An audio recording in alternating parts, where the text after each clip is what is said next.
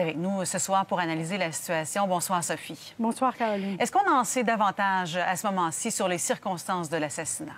Non, tout ce qu'on sait, c'est ce que le premier ministre sortant a dit, que des mercenaires, dont certains parlaient soit anglais ou espagnol, auraient envahi la résidence euh, de Jovenel Moïse en banlieue de Port-au-Prince la nuit dernière, tirant sur le président et sur sa femme, Martine Moïse, qui est d'ailleurs ce soir soignée dans un hôpital de Miami.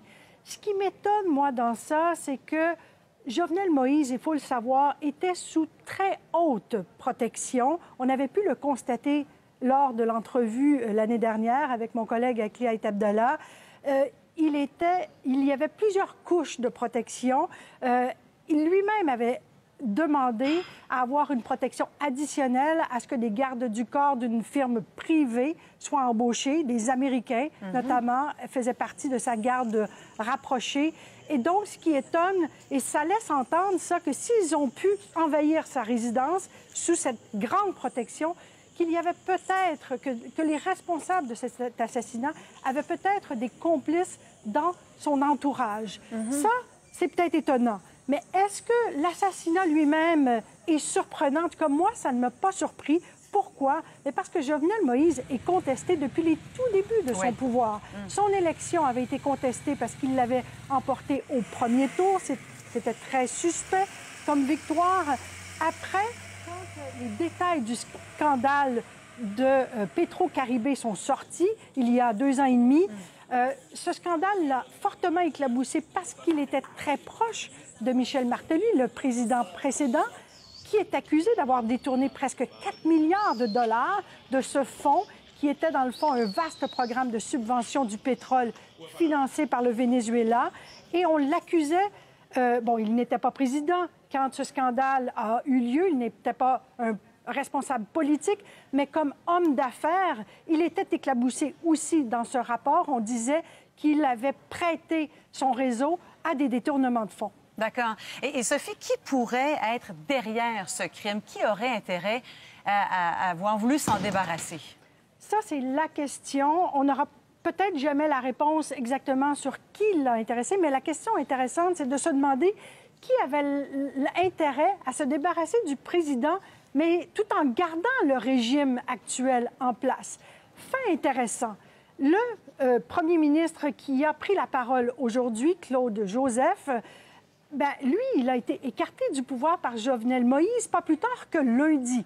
Euh, il a été écarté. Jovenel Moïse a nommé un nouveau premier ministre, Ariel Henry, euh, mais parce que celui-ci n'est pas encore assermenté, aujourd'hui, Claude Joseph a clairement s'est approprié le pouvoir, notamment en convoquant un Conseil des ministres extraordinaire et en déclenchant, en décrétant euh, ce- ce- ce, euh, cette, euh, Cet état de siège. Cet état de siège, exactement, et clairement veut prendre le pouvoir. Disons que c'est une coïncidence intéressante, mais il y a deux possibilités, deux groupes qui auraient intérêt. C'est soit des, des membres du gouvernement de Jovenel Moïse qui estimaient qu'il était devenu un obstacle à leur intérêt, donc à leur enrichissement par la corruption, ou il y a des clans dans l'opposition qui ont les moyens de mener un tel assassinat et qui auraient eu intérêt à le faire. Et on le sait, il y a eu une escalade des violences depuis un mois menée par des milices proches de certains de ces clans de l'opposition. L'intérêt étant de se débarrasser de Jovenel Moïse tout en gardant le régime en place, de le déstabiliser pour être capable de contrôler les résultats du prochain scrutin qui doit toujours avoir lieu le 26 septembre. Ça vient vite. Oui, c'est ça, ça va venir vite. Alors là, à quoi est-ce qu'on peut s'attendre dans les prochaines journées, prochaines semaines, à votre avis? Alors, le changement tant espéré par les Haïtiens ne viendra pas à court terme parce que euh, on voit, euh, le, régime actuel se maintient en place par la force, par, par, euh, par l'armée qui, au cours des deux prochaines semaines, et le pouvoir exécutif auront des pouvoirs additionnels pour arrêter euh, des, des gens soupçonnés de vouloir déstabiliser l'État, pour empêcher des manifestations euh, de, de- de prendre place dans les rues.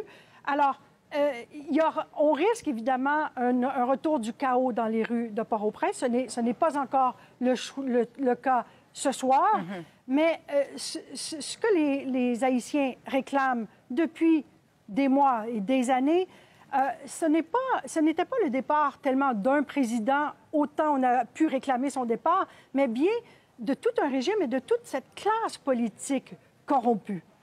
Et, je parlais tout à l'heure avec notre collaborateur dans les rues de Port-au-Prince qui nous disait que c'était un calme, mais vraiment un calme relatif, que les gens euh, s'étaient en quelque sorte presque barricadés dans leur maison. On craint, on craint une escalade de violence. Ben, c'est un calme inquiétant d'une certaine façon. Euh, les, Haïtiens le savent mieux que nous à quel point ce, silence dans les rues fait peur, parce qu'effectivement, euh, le pouvoir, à ce qu'on reprochait, ce qu'on a beaucoup reproché à Jovenel Moïse, ça a été de ne pas vraiment s'attaquer, comme il l'avait promis, à cette corruption rampante. Et on, lui dit, on disait de lui, euh, vous n'êtes pas le représentant du peuple, vous êtes toujours le représentant de cette oligarchie. On le voyait la dénoncer, cette oligarchie qui, prend en otage le pouvoir.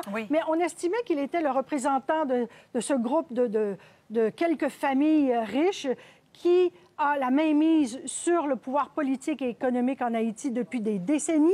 Et, c'est pour ça qu'on craint euh, la violence et que cette mainmise euh, sur la vie, euh, le quotidien des, Haïtiens, cette mainmise sur le pouvoir politique empêche les Haïtiens de vivre décemment, de pouvoir travailler, parce qu'on empêche l'économie de ce pays de se développer de façon à pouvoir faire réellement travailler les Haïtiens, leur permettre de, nourrir décemment leur famille.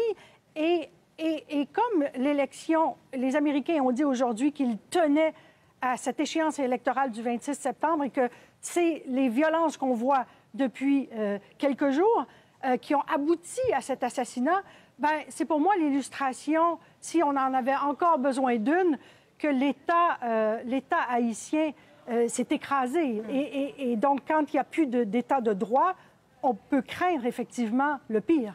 C'est bien triste tout ça et très inquiétant quand même. Euh, on pense euh, à la diaspora hein, qui est ici et qui voit leur famille euh, là-bas en Haïti vivre cette situation-là assez chaotique. Merci Sophie Langlois.